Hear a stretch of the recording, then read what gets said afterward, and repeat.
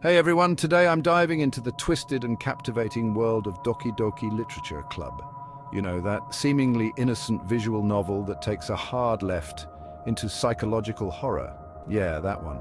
So what makes Doki Doki Literature Club so special? First glance, it's your typical dating sim.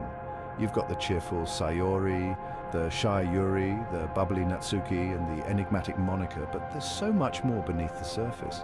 The game starts off light-hearted, with cute interactions and poetry writing, but brace yourselves, because things get dark pretty quickly. Sayori's sudden and tragic departure is the first major twist that rocks the players. It's a stark reminder that this game is not what it seems. Then the game starts to break the fourth wall. Monika, who's initially just another character, reveals her true nature. She's aware that she's in a game and starts manipulating the code to eliminate her competition. It's a mind-bending experience that makes you question the nature of reality and control. One of the most fascinating aspects is how the game plays with your expectations.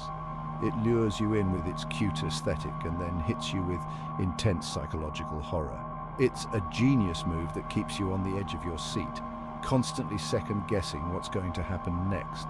The themes in Doki Doki Literature Club are deep and dark. It tackles issues like mental health, free will, and the nature of reality.